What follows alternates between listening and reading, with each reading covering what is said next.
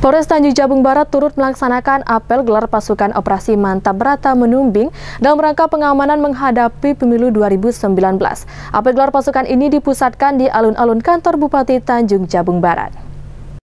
Kapolres Tanjung Jabung Barat AKBP ADG Sinaga bertindak sebagai inspektur apel menyampaikan apel gelar pasukan dilaksanakan secara serentak dan masif di seluruh Indonesia tingkat provinsi dan kabupaten kota dengan melibatkan TNI, Polri, dan komponen masyarakat.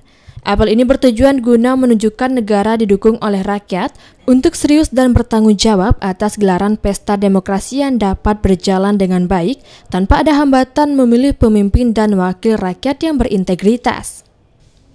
Pada apel gelar pasukan, diimbau seluruh TNI Polri yang terlibat dalam pemilu 2019 mewujudkan sinergitas bersama masyarakat agar setiap permasalahan yang muncul di lapangan dapat teratasi Sebanyak 390 personel kepolisian dan 100 personel TNI di Tanjung Jabung Barat dilibatkan dalam hal pengamanan pemilu 2019.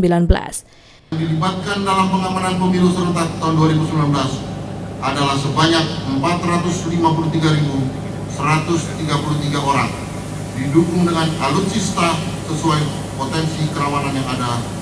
Jumlah kekuatan TNI Polri cukup besar Hal ini kita laksanakan semata-mata menunjukkan bahwa negara dengan didukung oleh rakyatnya sangat serius dan bertanggung jawab agar gelaran pesta demokrasi bisa berjalan dengan baik tanpa ada hambatan yang berarti guna memilih calon legislatif dan pemimpin nasional yang berintegritas.